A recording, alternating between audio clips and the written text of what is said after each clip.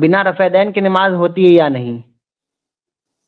देखिए रफुल यदैन करना ये मुस्तहब है, सुन्नत है। और अगर किसी ने रफुल यदैन नहीं किया, तब भी उसकी नमाज़ सही है।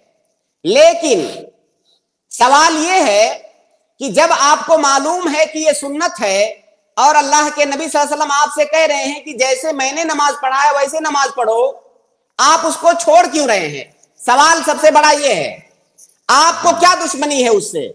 जैसे एक तो यह है कि कभी आदमी भूल के छोड़ दिया, कोई फ़र्क नहीं, उसकी नमाज़ हो जाएगी। लेकिन अगर आप जानबूझकर छोड़ रहे हैं तो हम आपसे पूछेंगे कि आप क्यों छोड़ रहे हैं? क्या किसी इंसान के कहने की वजह से छोड़ रहे हैं? क्या किसी की तकलीद में छोड़ रहे हैं? या आप जो है, आपकी निगाह में सुन्नत की कोई अहमियत नहीं है, इसलिए छोड़ रहे हैं? अगर कोई आदमी किसी सुन्नत को छोड़ रहा है तो उस पर गुनाह नहीं है।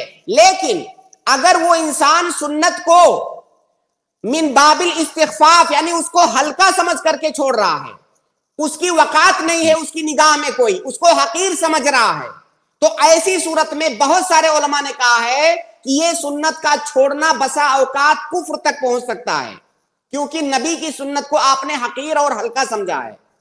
वरना वैसे ही कोई सुस्ती में छोड़ दिया। कोई सुस्ती में रफुल दैन नहीं किया। उसकी नमाज़ हो जाएगी। इसमें किसी का कोई अख्तिलाफ नहीं है कि रफुल दैन मुस्तहब है उसके बगैर नमाज़ हो जाएगी। लेकिन आप अपने आप से पूछ लीजिए कि आप छोड़ क्यों रहे हैं?